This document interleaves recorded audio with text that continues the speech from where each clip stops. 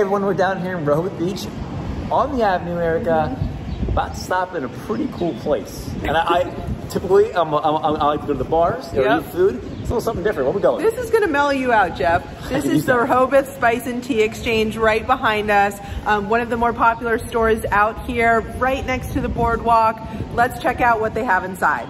Before to it. Hi, my name is Adam. Welcome to the Spice and Tea Exchange of Rehoboth Beach. I am the assistant manager here for uh, three and a half years, and it's been a heck of a ride. We have all sorts of different products here, uh, whether you love to spend time in the kitchen and cook, or if you're a big tea aficionado. So anything from our handmade custom blends to peppers like what are behind me, salts, flavored sugars. Again, we have a world of tea to choose from. So please definitely come and check us out.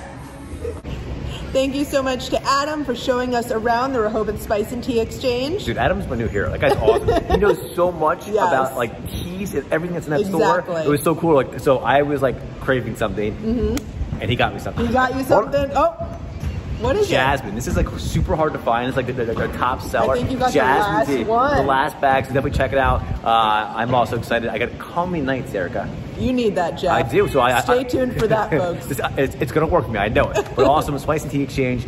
They have several locations, but definitely check out the one here in Rehoboth Beach. Adam and the whole crew, really great, uh, fun people to be around.